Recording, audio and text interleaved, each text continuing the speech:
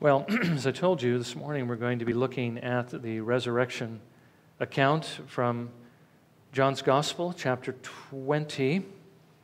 And we're going to be uh, looking at verses 1 through 29. John chapter 20, verses 1 through 29. Uh, this is really one whole account of our Lord's being raised from the dead, the empty tomb, the appearances of Christ, his, his coming to his disciples and uh, revealing himself to them, giving them the commission, breathing on them, as it were, uh, the, Holy, you know, the, the, Holy Spirit to give them strength. Uh, all of these things are really a part of the evidences of the resurrection, so I wanted to deal with them all at, um, at one time. So let me go ahead and read for you the, uh, the text. And um, as, as I do, just let's again remember the things we've already seen about why it's so important that Jesus be alive, that he be raised from the dead. If, if, if he couldn't save himself from death, he certainly can't save us from death. If he's dead, then we're all dead. Okay? We're, we're, that's all we have to look forward to. But he isn't dead, he is alive. John chapter 20, beginning in, in verse 1. Now, on the first day of the week, Mary Magdalene came early to the tomb while it was still dark and saw the stone already taken away from the tomb. So she ran and came to Simon Peter and to the other disciple whom Jesus loved and said to them, They have taken away the Lord out of the tomb, and we do not know where they have laid him. So Peter and the other disciple went forth, and they were going to the tomb. The two were running together. And the other disciple ran ahead faster than Peter and came to the tomb first.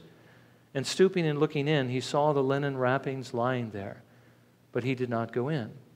And so Simon Peter also came following him and entered the tomb, and he saw the linen wrappings lying there, and the face cloth with which uh, which had been on his head, not lying with the linen wrappings, but rolled up in a place by itself.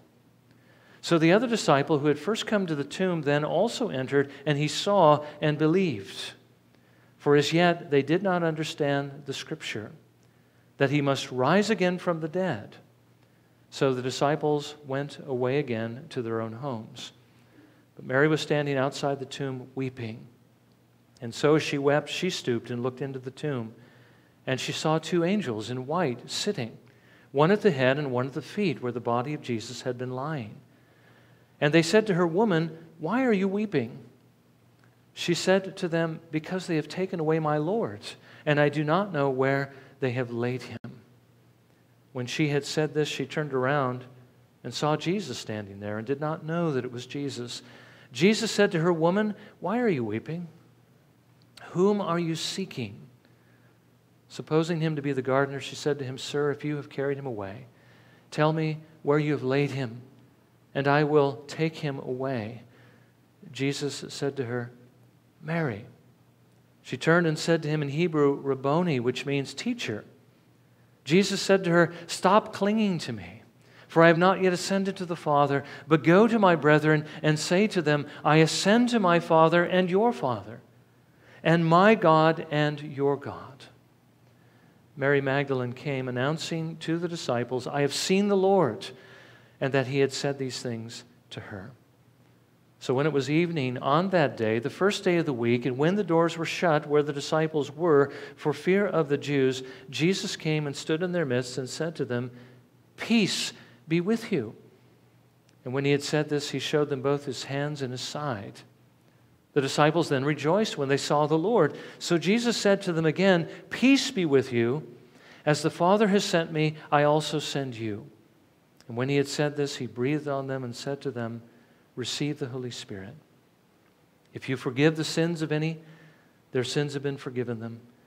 If you retain the sins of any, their sins have been retained. But Thomas, one of the twelve, called Didymus, was not with them when Jesus came. So the other disciples were saying to him, We have seen the Lord.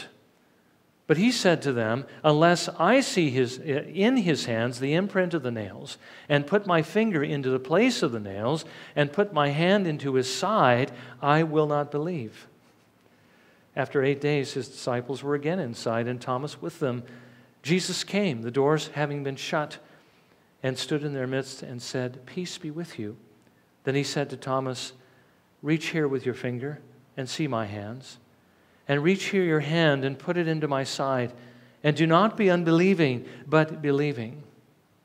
Thomas answered and said to him, My Lord and my God. Jesus said to him, Because you have seen me, have you believed? Blessed are they who did not see and yet believed. May the Lord bless his word again to our hearing this morning. Now, as, um, as you know, over the last several weeks, we've been looking at what it is that Jesus has been willing to go through for us so that we might be reconciled to God.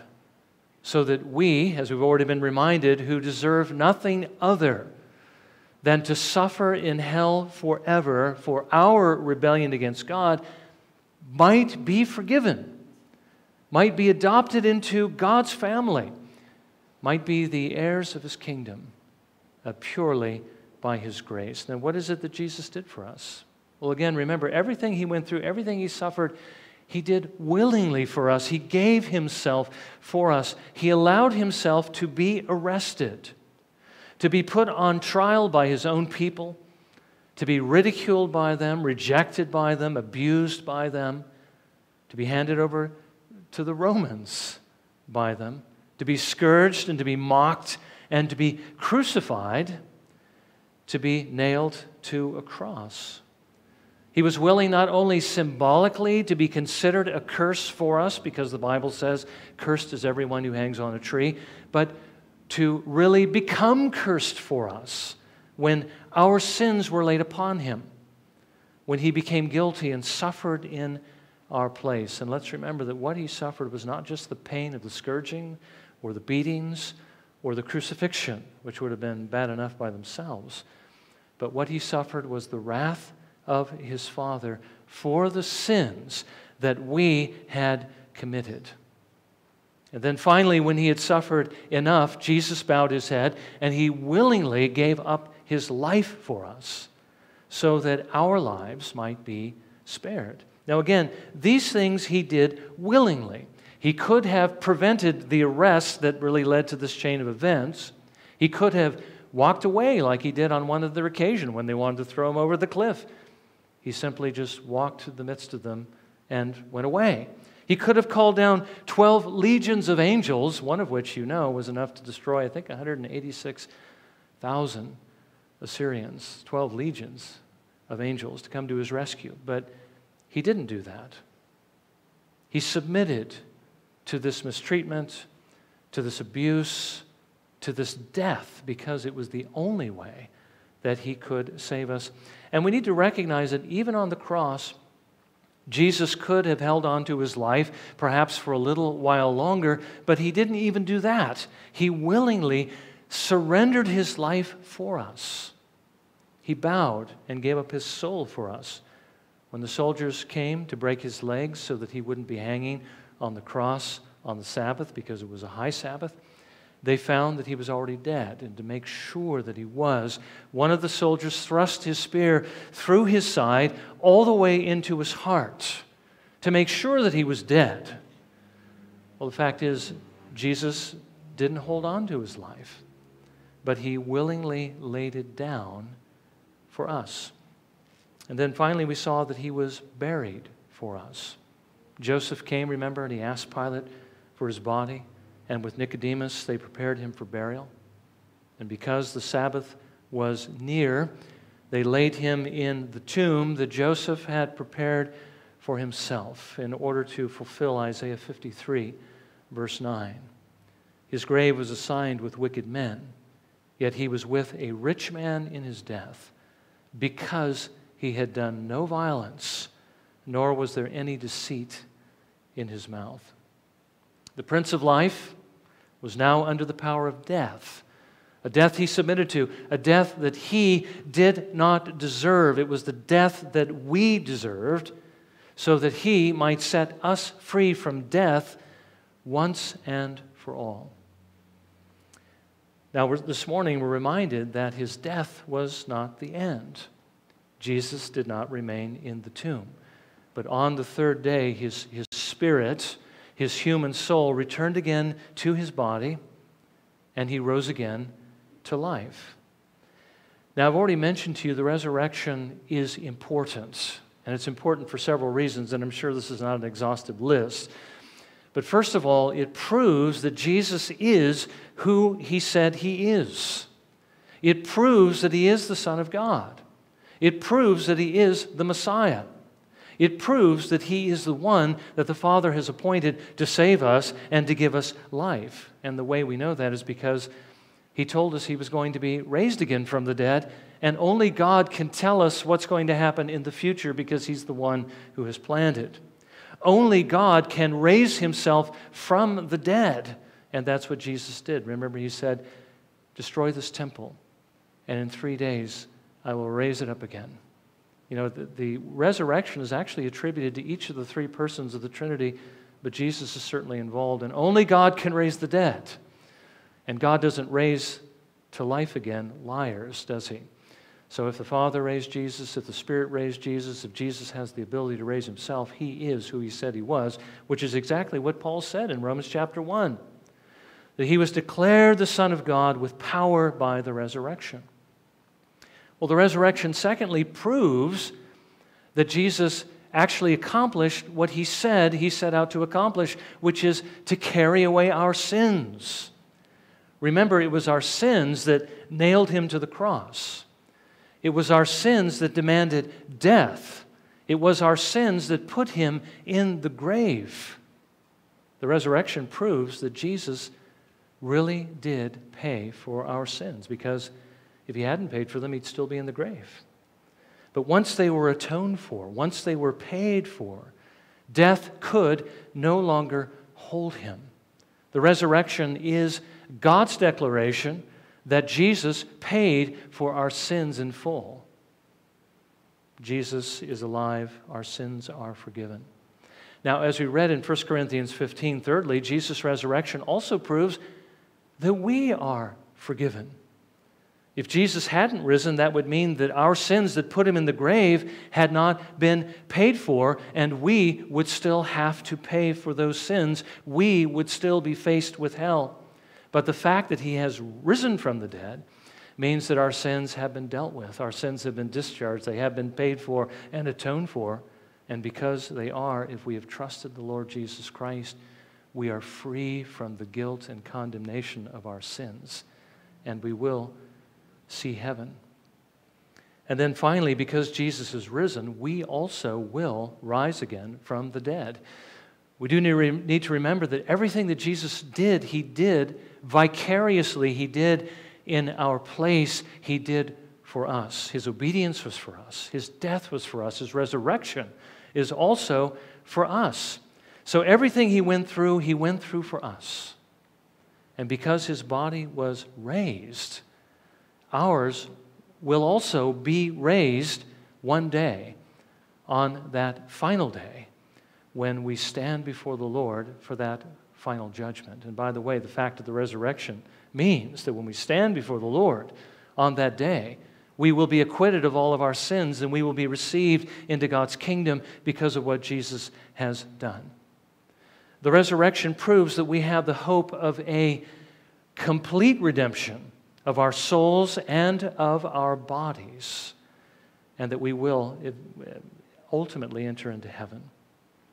So the resurrection is important. And what I want us to look at this morning is the fact of the resurrection. Jesus is alive.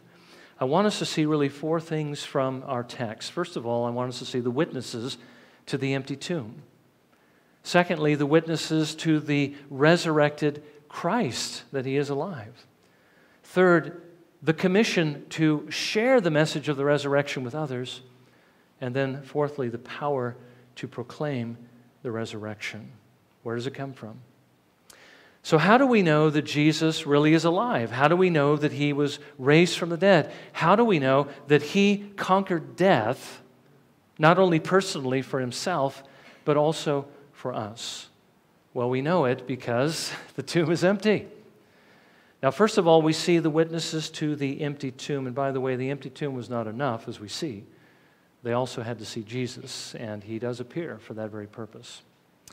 Now, the first of these witnesses was Mary Magdalene. She was the first to go to the tomb early in the morning following the Sabbath. And by the way, as you look at these time frames and you see some confusion of evening and morning and so forth, it's been pointed out by commentators that John appears to be using the Roman timekeeping rather than the Jewish timekeeping.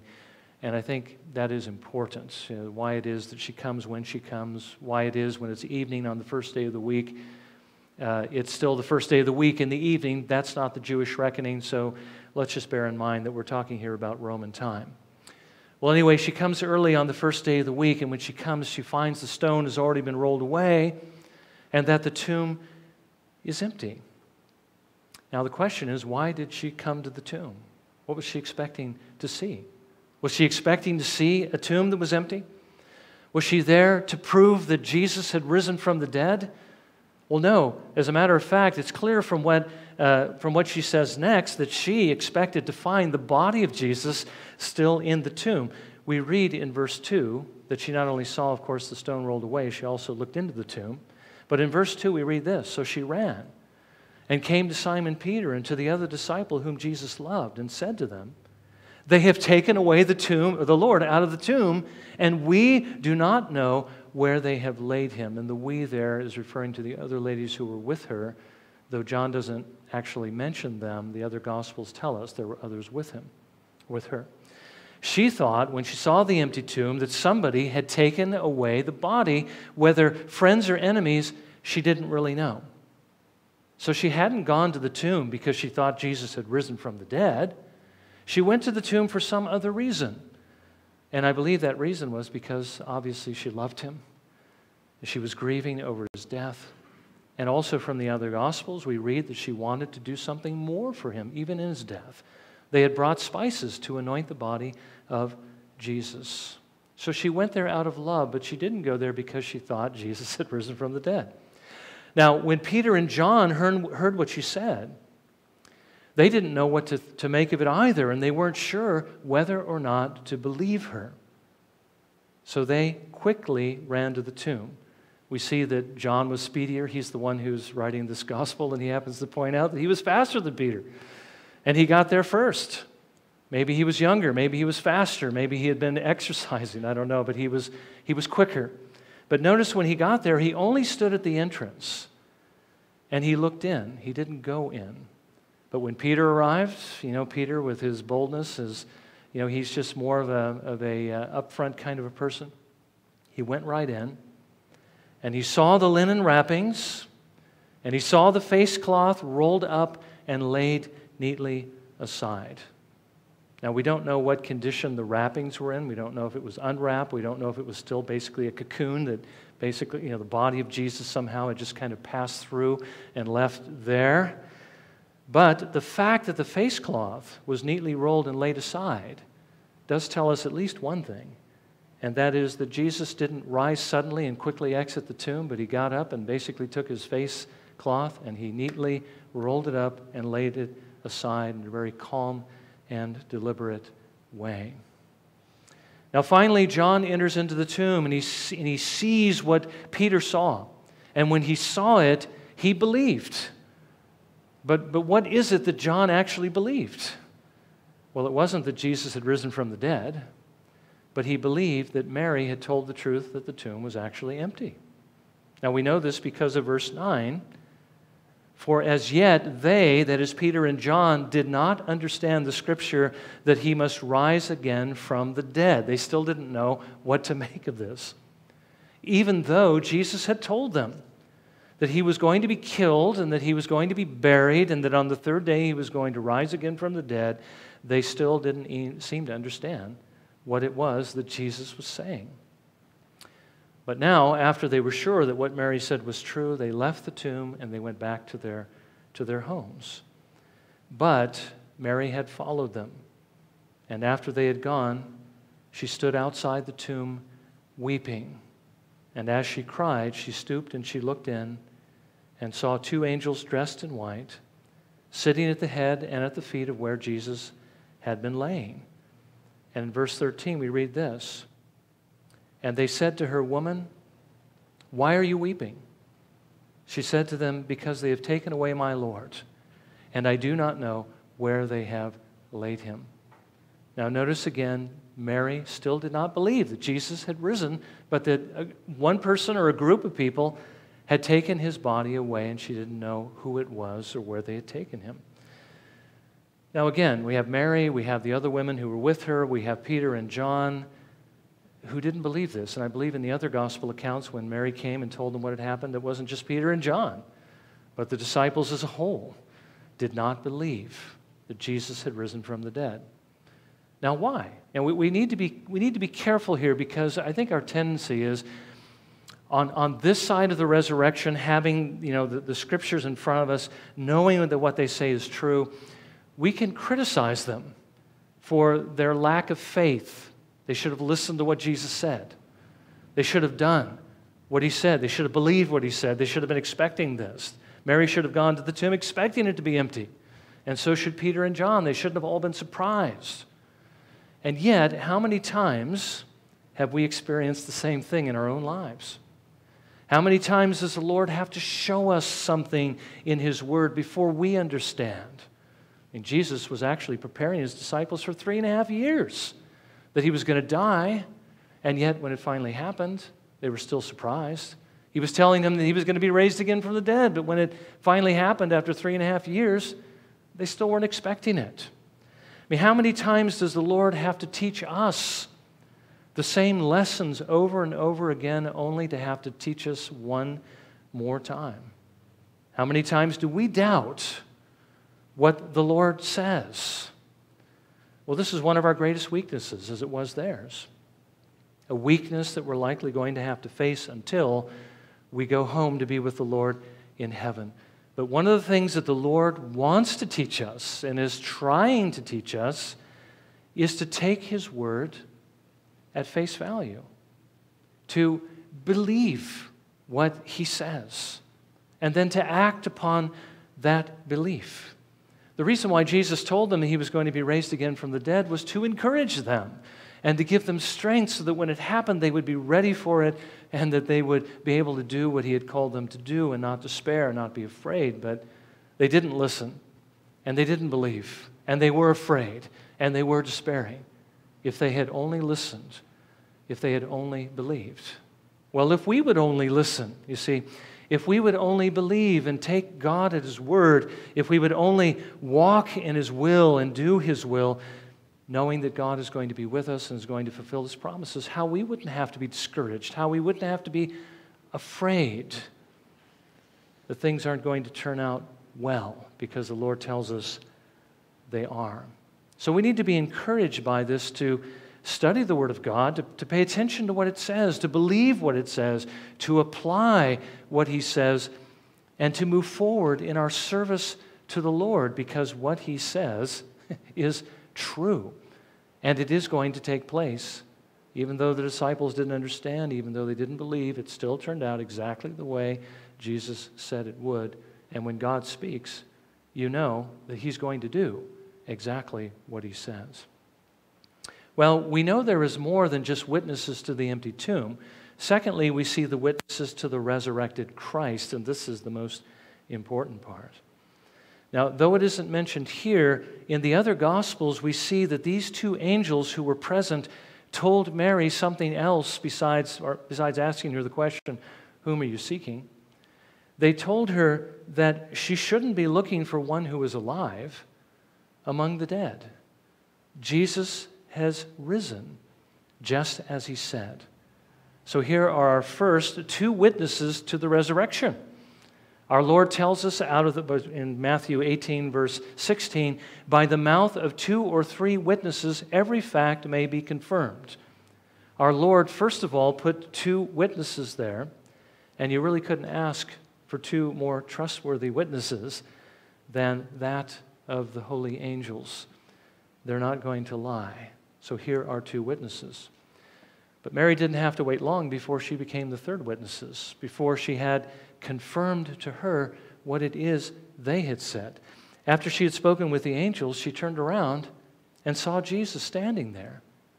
Though she couldn't tell at first that it was him, probably because she was crying and her vision was blurred from her tears. But Jesus asked her, Why are you weeping? And who, who it was that she was seeking. Now, she thought it might have been the gardener, and that maybe the gardener had taken away his body. And so she asked him in verse 15, Sir, if you have carried him away, tell me where you have laid him, and I will take him away. Apparently, those first two witnesses weren't, weren't quite enough. And when she had said this, we read in verse 16, Jesus said to her, Mary. She turned and said to him in Hebrew, Rabboni, which means teacher. And then she really just reached out and took hold of him with a grip that Jesus, from his expression, uh, looked like she wasn't going to let go. She was holding on to him uh, tightly. Now, think about this for a minute. I mean, what would that be like to be Mary and to see Jesus in this way? Well, I think the only way we can conceive of it is. Um, if we too were to lose somebody, let's say that we loved, somebody that we loved more than anyone else in the world, we lost that person, they were dead as far as we were concerned. We weren't going to see them again for a very long time. You see, if they're a believer, they're with the Lord, but you know how it is. You miss those whom you love. But you weren't expecting to see that person again, at least in this life. And suddenly to see them standing before you alive again, what would you do? Well, you'd probably do what Mary did. You would probably just reach out and grab that person and, and hold on to them in a way that you never want to let go of them again, to hold on to them forever. Now, I do believe that what Jesus says here, he's not meaning to be cruel. Jesus never is cruel. Jesus is always perfectly loving. But he said, Mary, you need to let go of me.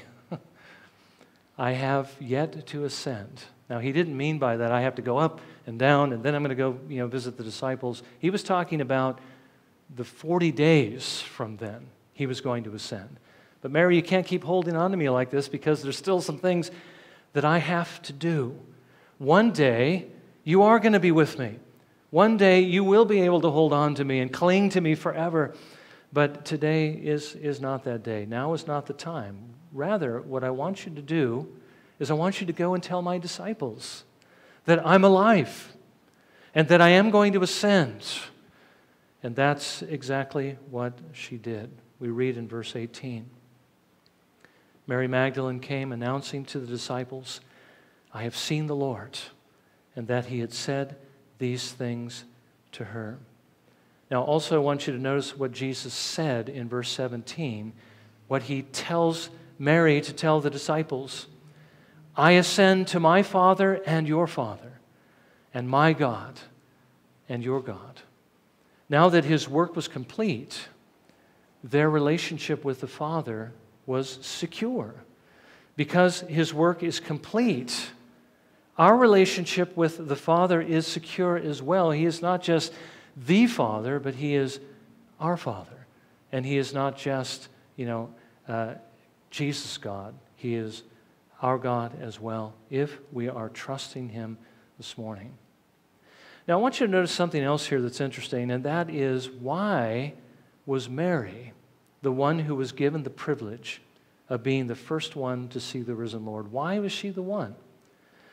Well, I think there's a few answers to that question. Who was the first one to the tomb? It was Mary. There were others with her as well, so we do need to make a distinction there. She remained at the tomb while the others went away. While the others went away to do whatever they went, they went back to their homes and so forth. But she stayed there, thinking about what, what had happened. This was Mary Magdalene, remember? This is not Mary, the mother of Jesus, the one who was so venerated, you know, by the, the Roman church. This is Mary Magdalene, the one who was the harlot, the one who had had seven spirits or demons cast out of her. She was the one who waited. She was the one who was weeping. She was the one who cared, you see. It's not that the others didn't care, but let's just say she cared perhaps a bit more. She was the one who had been forgiven much, and so she was the one who was thankful much. Remember how Jesus said to Simon the Pharisee when he was rebuking Jesus for this, letting this woman weep and wipe you know, his, his feet, uh, wash his, his feet with her tears and wipe them with her hair? He said if he knew what kind of woman this was, he wouldn't even let her touch him. And then Jesus asked Simon that question. You know, there were two people who had this debt, and one was greater, one was less, and the Lord forgave them both. Which one will love him more? Well, Simon says, the one whose debt was greater, and Jesus says, You're right. This woman had a greater debt, and it's forgiven, and she loves more. And you think you don't even need forgiveness, and so you don't love me at all. Well, you see, Mary Magdalene knew about the grace of God and she knew about his love, and because she'd experienced that love, she loved him. And she wanted to minister to him, and she wanted to serve him, and that's why she was there. And loving the Lord as much as she did, she was the one who was honored to see him the first. Our love to the Lord can be measured by our devotion to him, by how much we are committed to Him. And that is shown by the way we live, the kind of life we live. Whether we're actually doing what Jesus said. Remember what Jesus said if you love me, you will keep my commandments. That's how you show me your love. It's not by thinking warm thoughts, feeling warm thoughts, thinking lofty thoughts, saying lofty words, although it's a part of it. It's by doing what he says. That's how we show him love. That's how he wants us to show him. And that's what we know that that love is real and it goes beyond just well wishing, it actually does it. Even as James says, the same thing is true with regard to how we treat other people. You say you love your, your brother, your sister, and you see them in need, and you say, be warm and be filled. He says, What good is that? Wishing them well and not really giving them what they need. You see, there has to be the action behind it. Well, here are the actions. She was demonstrating her love to the Lord, and that is how we demonstrate our love to Him. That's what he wants to see in us, is that we actually are serving him. We actually are obeying him. And the reward of that love, which is a purely a reward of grace, is to experience his love more. We saw that a little bit earlier on in John, where the more we give ourselves to the Lord, the more we experience that love that He has for us, the more He reveals it to us. Well, here we see Jesus revealing that love to Mary. Now, Jesus also appeared to 10 of his disciples later that day. Judas, by this time, of course, was dead. He had committed suicide after betraying Jesus to the Jewish leaders and then seeing that he had been condemned to death. He felt remorse, gave the money back, went out and hung himself, so he's gone. And Thomas was absent, but the rest of the disciples were there. They were hiding. They were afraid of the Jews, and that's because they, they didn't understand that Jesus was to raise, you know, be raised from the dead. They were despairing. But while the doors were shut, Jesus suddenly appears to them to minister to them, to minister peace to them. Verses 19 and 20. Peace be with you. And when he had said this, he showed them both his hands and his side. The disciples then rejoiced when they saw the Lord. Jesus says peace, as it were, he, to comfort them in their fears, and then he shows them, This is me. Look, here are the, the nail wounds from the crucifixion. Look at my side. This is where the spear went through and pierced my heart. He was proving to them that he was, in fact, the one that had been dead and now was alive again. And of course, when they saw that, they believed and they rejoiced. They rejoiced because the one they loved was alive. They weren't quite like Mary. You know, men respond a little bit differently than men do, and they didn't just ah, you know, give me that. Let go of me, guys. I haven't yet ascended. You know, they didn't. They didn't do that in this case, but they still rejoiced to see the one whom they love, and they also rejoiced because seeing Jesus alive meant their sins were forgiven. They, were, they knew that they were sure of heaven. This one was alive. That means that they would also live once they died. This one had conquered death for them. And so they rejoiced, as we also should rejoice that Jesus has conquered death for us. Now, when the disciples later saw Thomas, who was absent, and they told him what had happened, he immediately believed, right? No, no, he didn't believe. He says in verse 25, Unless I see in his hands the imprint of the nails, and put my finger into the place of the nails, and put my hand into his side, I will not believe. Now, I think for that particular statement, Thomas had to wait another week before he actually got to see Jesus. But eight days later, which, by the way, by Jewish reckoning would again be the first day of the week. The disciples were together again, and this time Thomas was with them. Jesus came again and gave them his greeting of peace. And then in verse 27, then he said to Thomas, Reach here with your finger and see my hands, and reach here your hand and put it into my side. And do not be unbelieving, but believing. Now, I want you to, to think about three things from, from this particular encounter. First of all, Jesus appeared, notice, on the first day of the week in the morning, the first day of the week on the evening, and the first day of the week a week later to Thomas. Jesus was setting apart the day of his resurrection by his appearances to be his particular day. By the way, that's what we believe John was referring to in the book of Revelation when he said, I was in the Spirit on the Lord's day. Well, what was the Lord's day? Well, he wasn't talking about the future day of his judgment, but on the day that Jesus rose from the dead. He was in the Spirit on this day, the first day of the week. Uh, again, Jesus was setting this day apart to be his day and the day that his people would come together to love him and to worship him according to the fourth commandment. Remember the Sabbath day to keep it holy. The new covenant Sabbath is based upon the finished work of our Lord Jesus Christ and not upon the work of the old creation. The old creation was destroyed by sin. But Jesus has made all things new through his work. So there's a new creation.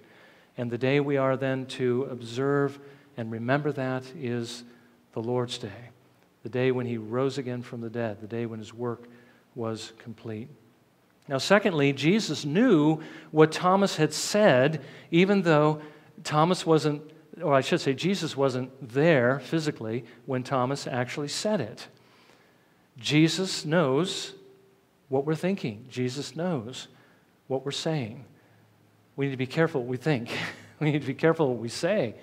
We need to make sure that we don't just do it because you know Jesus is watching.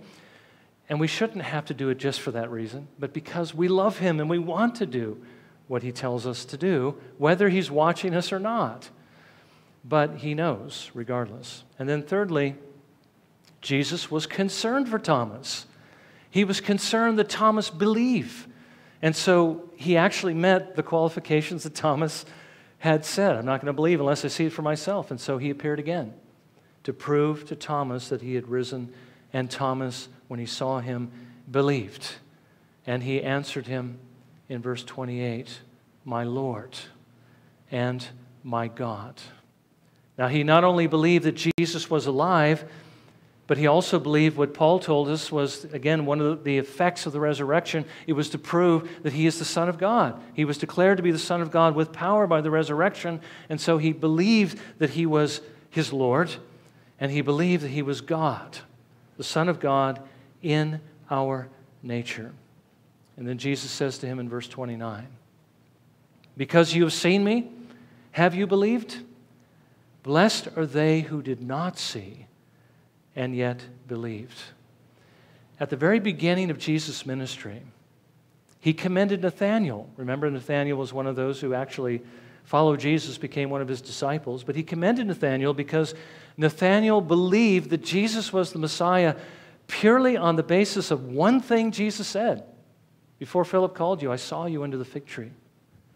Rabbi, you were the, the, the king of Israel, you were the Son of God. Jesus says, You believe because I told you I saw you under the fig tree? You're going to see greater things than this.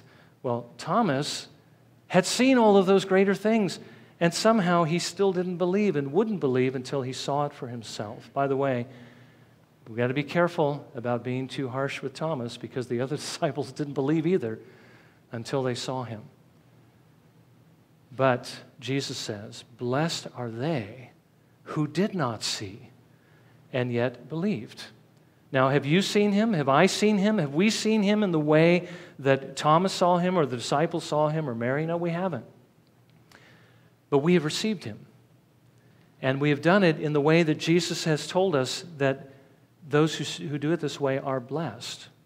We can't see him anymore physically because he's in heaven.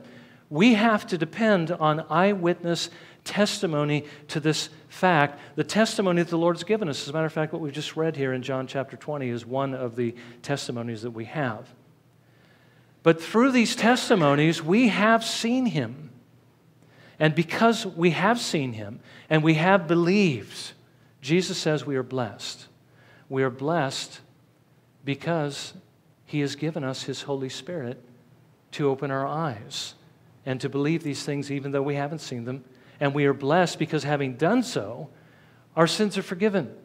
And we are safe now from hell, from where we would be forever without Jesus. Let me just encourage you this morning that if you haven't trusted Jesus, if you haven't believed on him, ask him now to reveal himself to you by his Holy Spirit. You have to see him through the eyes of faith. You have to believe on him if you are to be saved.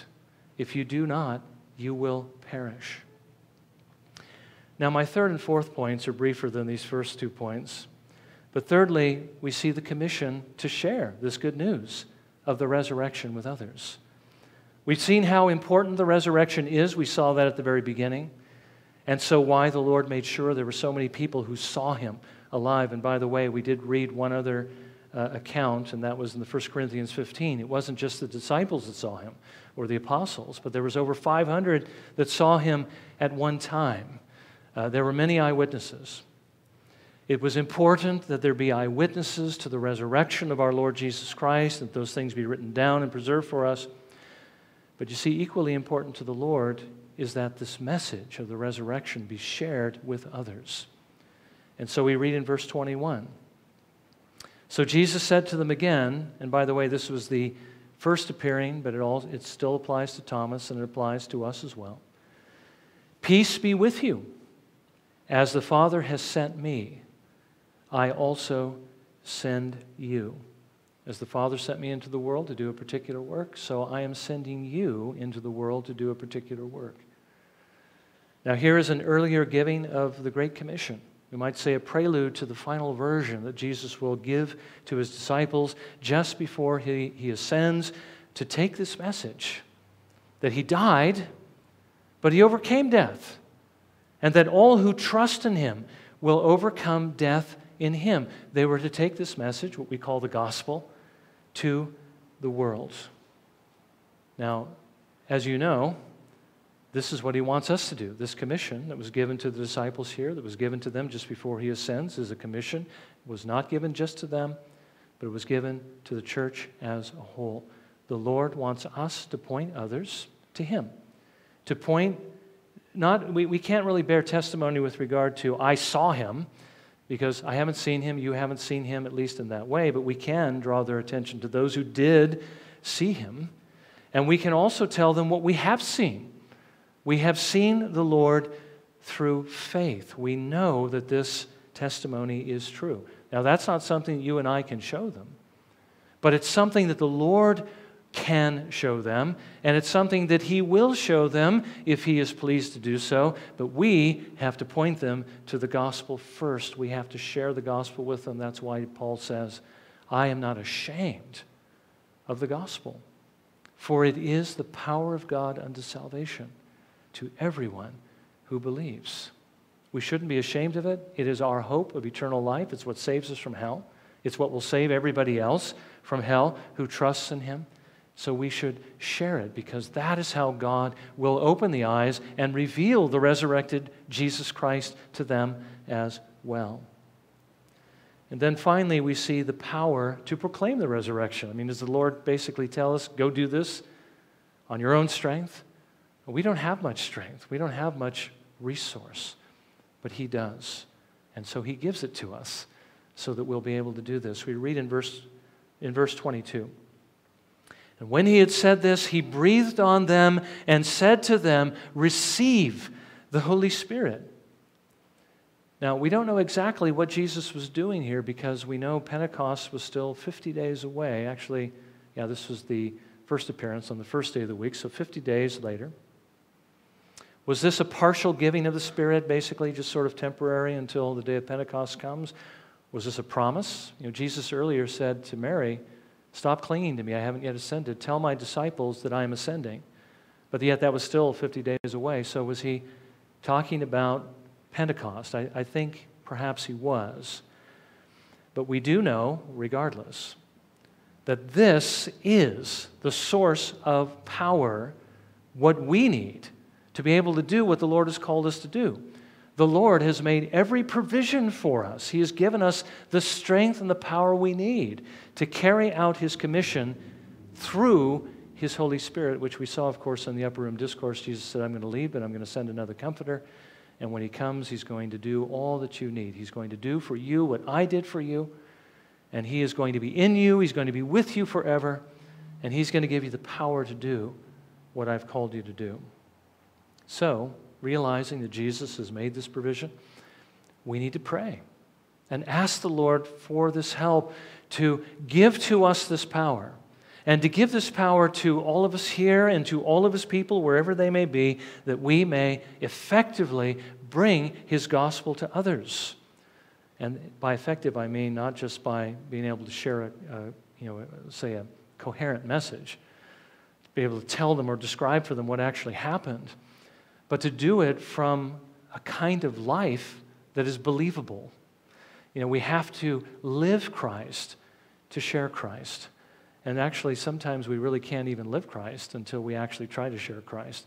One of the, I'm convinced that one of the biggest bottlenecks to the Lord's power in our lives is the fact that we don't take that step and share the gospel with other people. When we, do, when we don't do that, it grieves what we have of the Holy Spirit within us and it makes us weaker. But if we were to step out and do it in faith, and by faith, I mean we don't really see the resources, we really don't see the power, we don't really have the confidence that we're going to be able to do it very well because we're just looking to ourselves. But when we actually step out and do it, I think that's when the Lord gives to us the biggest infusion of power to be able to do it. So if we wait until we have the power, we'll probably never do it and we'll grow weaker. But if we take what we have and step out in faith, I believe the Lord will give us a greater grace and we will be able to bear witness with even greater power.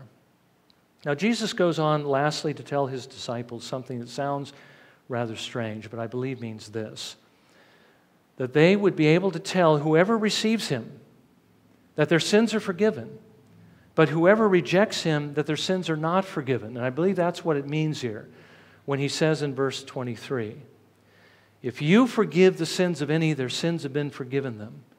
If you retain the sins of any, they have been retained. You know, the Roman church takes this and basically says the priest has the ability to absolve or not absolve people of their sins. No man has the authority to forgive sins. Only God can do that. Now, Jesus did it because he's God. But we can't do that. All we can do is make a declaration based upon the evidence. And I believe that what Jesus was speaking of here is the same thing that he was talking about in Mark 16, verse 16, when he says this. And this is during the Great Commission as well. He who has believed and has been baptized shall be saved, but he who has disbelieved shall be condemned. Somebody believes, their sins will be forgiven. If they don't believe, they won't be forgiven. And you can tell them that. You know, if you believe on the basis of that faith, if you've trusted Jesus Christ, your sins are forgiven. But if you don't believe, your sins still cling to you and you will still have to answer for them. Well, Jesus is just simply telling us what's going to happen and what we can say on the basis of their acceptance or the rejection of the gospel. So, as we go out to share the gospel with others, we need to understand that we can do basically the same thing based upon whether they accept the gospel or reject the gospel. But do be careful because uh, acceptance of the gospel is not just believing facts. I think we know that by now. There has to be the fruit of a change of life. So I think the if has to be there. If you have truly trusted Jesus, if you are repenting of your sins, if you are following Jesus Christ, if you are laying down your life and doing what he calls you to do, your sins are forgiven, and you are going to be with the Lord in heaven. But if you haven't done that, your sins are not forgiven. We can say that with absolute certainty because that is what the Lord says. So, as we now prepare to come to the table to remember the death of our Lord, which is what the table is for. And as we think about the Lord's resurrection on this day, which is the day of his resurrection, may the Lord again assure us that if we have believed, if we have repented, if we are following him, our sins are forgiven. May he assure us of that.